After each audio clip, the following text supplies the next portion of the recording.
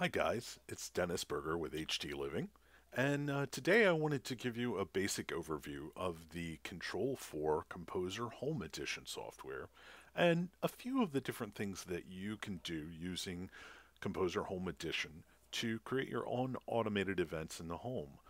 Um, before we get into that though, I wanted to briefly show you the Composer Pro software just for the sake of comparison, we won't dig too deeply into it because this is for dealers only or people who have been through the week long dealer training session. Um, I often talk about how easy Control 4 is to program, um, and by that I mean easy as compared to other advanced home control solutions, uh, several of which I am trained in programming. Um, but still, for the for the average user, for the average homeowner, that's a little too much. Um, in fact, it's quite a bit too much. Um, but you can see here um, all of the devices that are installed in your home, all of the drivers that the dealer has at his or her disposal, um, all of the connections that you have to make between components, um, between your control hardware and your AV components. Uh, you also have to tell it how all of your AV components are connected, which wires are going from which device to which input, just to give Control4 complete control over the audio video experience and all of the other connected devices in your home. Just wanted to show you what that looks like. Um, we'll go ahead and shut that down and move over to Composer Home Edition. Um, as you'll see as we're connecting here, it looks very similar. Uh, same layout, a lot of the same buttons. Don't get too overwhelmed by that. Um, it's basically just consistency of, of the programming code. Um, but once we get loaded up here, you'll notice one key difference. And the key difference is you cannot actually modify any of the connections. You can't add or remove devices with the Home Edition software. What that basically means is that you can't mess anything up.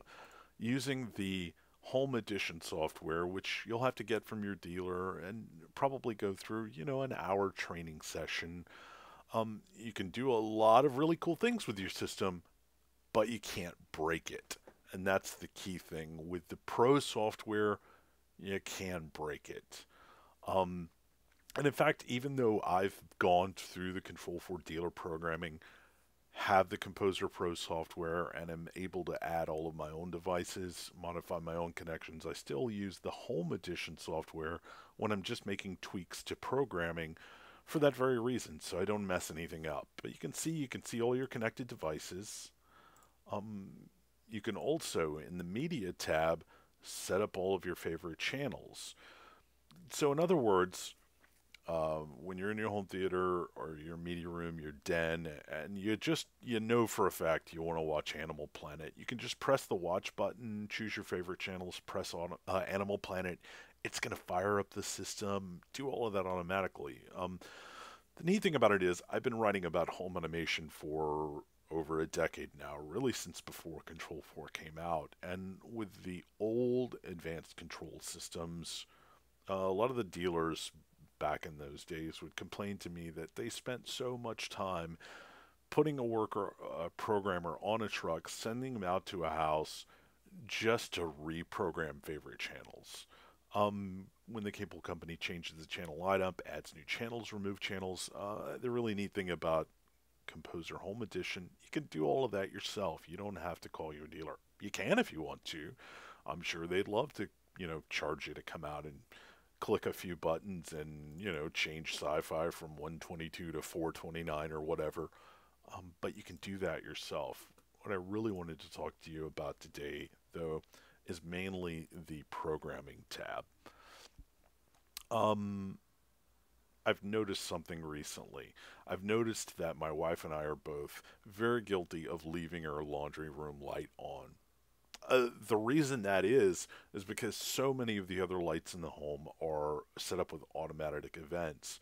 I open this door, this light turns on, you know, but we don't spend a lot of time in the laundry room, so I've never gone through the trouble um, uh, although it's really not much trouble of setting up any automated events. So um, there are really two ways I could solve this problem. I could either install a motion detector in that room and have it so that the light only turns on when it detects that somebody's in the room and then turns it off when nobody's there anymore. But I don't really use the room enough to justify that expense. So I wanted to just walk you through really quick what I'm going to do using Composer Home Edition to fix the problem. Um, now, Composer Home Edition, really, once you get into the programming tab, um, you'll notice that on the left side of the screen and the right side of the screen, it's the same list of devices. Why are they both there? Why are they on two sides of the screen? The reason being is the left side of the screen you can think of as if or when. The right side of the screen you can think of then do this. So if this happens on the left, then do this on the right. And if you've spent much time with Microsoft Excel, you're probably really used to if then commands. Um, it really works much the same here. So let me just walk you through what I would do uh, to uh, to fix my problem of this laundry room light being left on too much. Um, go over to the left side, your ifs, select that laundry room light from the list of connected devices. Now, this is a Lutron lighting system, and you'll notice I don't quite have as much programming control as I would if I had Control4 lights. Uh, that's because double taps and triple taps and things like that are defined in the Lutron system already. They have their default behavior if you've got Control4 lights, then you really define in Composer what double taps and triple taps do. But in my case, if I press the top button on that light switch, then it turns on the laundry room light. That's fine. What I wanted to do, though, is to wait for a bit and turn itself off. Um, you can see here, I've already done the programming. Let's just go in and delete that so you can see how complicated that is. So if press the top button on my laundry room light. We know already by default that's going to turn the light on. What I want to do though is I want to wait five minutes. I want to turn it off. So I come over here to the right side, my thens. I select programming control, which is where you do all of your pauses and things like that. Um, I'm going to set a delay of five minutes.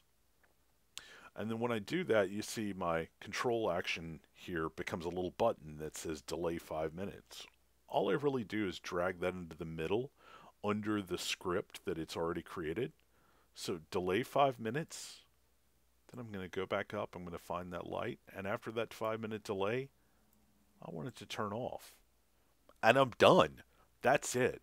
That's how hard it is to program an automatic event like if I turn on this light, wait five minutes and turn it off.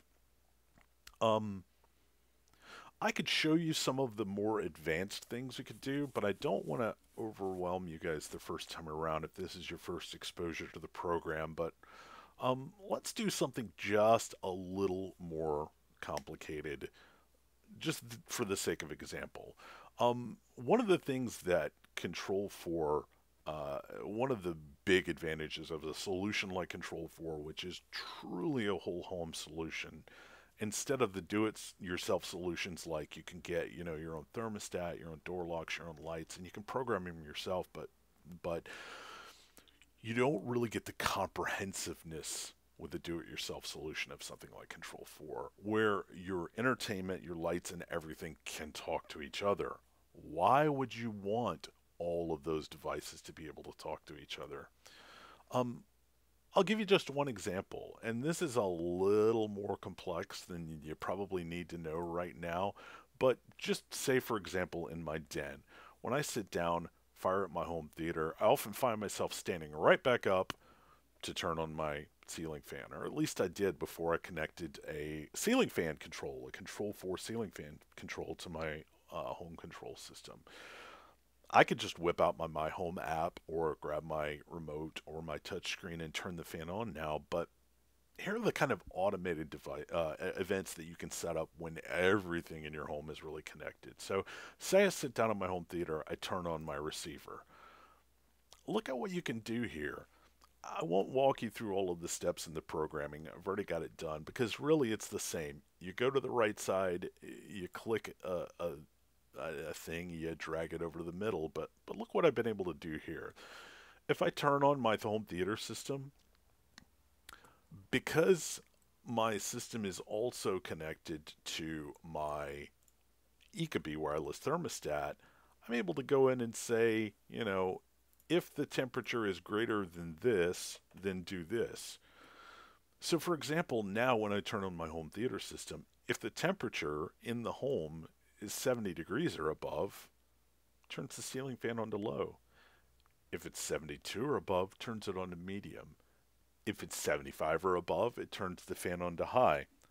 And that's just the kind of thing you can do when not only is your home automation system controlling literally all of your connected devices, but when a piece of software like Composer Home Edition gives you the ability to, to, to live with your home, live with these devices, and come up with ideas like, you know, uh, when I do this, I want this to happen.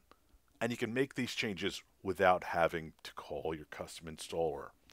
Um, that's all I'll really dig into for now. I don't want to overwhelm you guys too much, but if you have a Control4 system and you've thought about um, getting the Composer Home Edition software, and you have more questions about the sort of things you can do, or even if you've got a very specific question, hey Dennis, if I want to uh, make my my foyer light turn on when I open my front door locks, how would I do that? just go ahead and leave me a comment either here on YouTube or at HD Living, or you can find me on Twitter at Dennis Burger or at HD Living.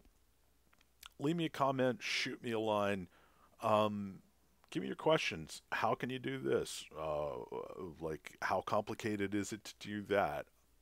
Let me know. Um, that's all they'll dig into for today, though. Like I said, I didn't want to overwhelm you. I just wanted to give you a really quick overview of of the things you could do with the software. Um, so thanks for watching. Thanks for reading. And you guys have a great day. I'll see you next time.